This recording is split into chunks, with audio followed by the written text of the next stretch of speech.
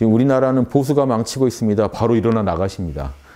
보수가 나인 사람은요, 일어나 나가세요. 에이, 여기도 못 믿을 때군.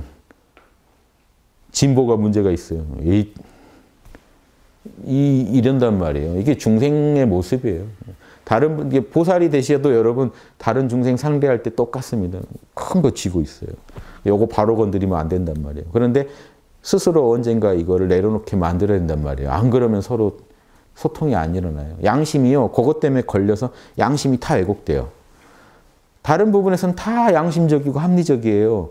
딱 거기만 가면 왜곡돼 버려요. 엉뚱한 얘기를 하십니다. 그럼 자기 걸려 있는 거에 대해서. 그래서 이게 서로 소통이 안 되는 거예요.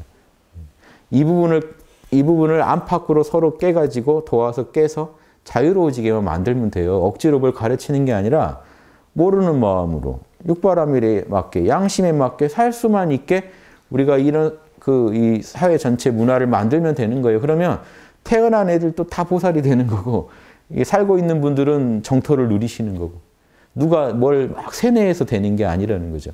세뇌를 하면 또 고정관념만 굳어져 가는 거죠. 나쁜 방식이. 자꾸 안에 있는 걸 각성시키는 거죠.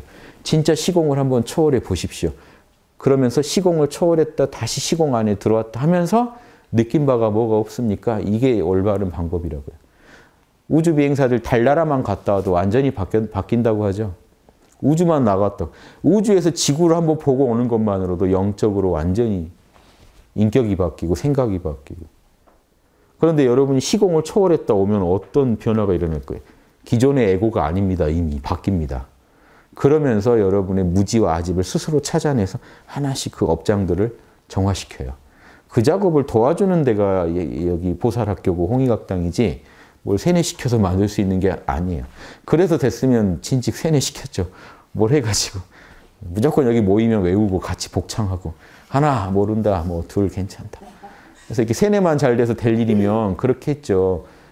그렇게 될 일이 아니에요. 여러분이 깨어나야 될 얘기이기 때문에 한 분 한 분이 가지고 있는 카르마도 다 다르고 그럼 방법이 없잖아요. 계속 모른다 해보라고 하면서 단, 단학을 통해서 에너지를 계속 주입하면 여러분이 힘 타고 모른다 잘 되시면요. 거기에다가 양심 분석이라는 생각 정리법, 최고의 생각 정리법입니다. 이게 들어가면 스스로 뭔가 의문점을 찾아내요.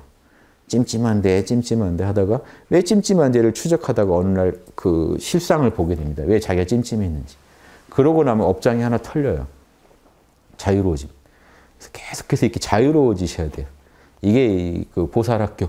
우주적으로 어느 보살학교나 어느 별에 뭐가 있는지 모르지만 있다면 이런 모습을 취할 수밖에 없습니다.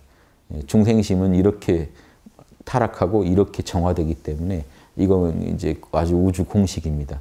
그래서 이걸 아셔야 돼요. 아셔야 여러분이 스스로 치유를 하시죠.